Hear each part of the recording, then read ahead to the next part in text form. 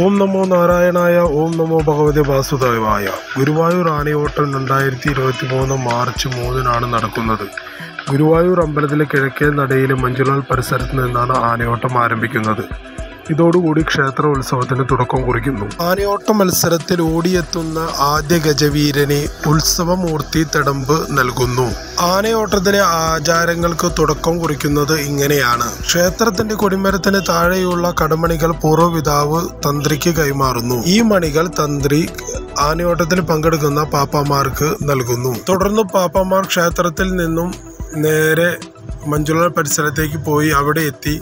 ഈ മണികൾ പങ്കെടുക്കാനെത്തിയ ആനകൾക്ക് അണിയിക്കുന്നു. തുടർന്ന് മാറാൻ വന്ന് ശംഖ് ഊതുന്നതോടുകൂടി മത്സരം ആരംഭിക്കുന്നു. മഞ്ജുളാൽ പരിസരത്ത് നിന്ന് തുടങ്ങിയ ആനയോട്ടം അവസാനിക്കുന്നത് ഗുരുവായൂർ അമ്പലത്തിലാണ്. ഈ ആനകൾ അവിടെ എത്തിയതിനു ശേഷം ഏഴു പ്രാവശ്യം പ്രദക്ഷിണം വെച്ച് ആദ്യം ഗുരുവായൂർ അമ്പലനടയിൽ എത്തുന്ന ആനയെ വിജയിയായി പ്രഖ്യാപിക്കും. ഇതാണ് ഗുരുവായൂർ ഉത്സവത്തിലെ ആചാരക്രമങ്ങളുടെ ആദ്യഘട്ടം ഉച്ചയ്ക്ക് ശേഷമാണ് സാധാരണഗതിയിൽ ഈ ആനയോട്ട മത്സരം നടക്കുന്നത്.